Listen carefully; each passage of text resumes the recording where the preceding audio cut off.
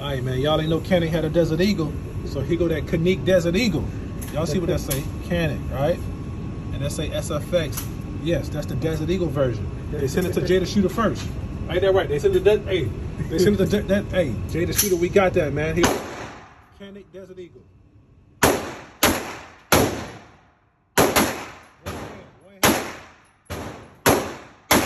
Oh, that trigger so light. I know.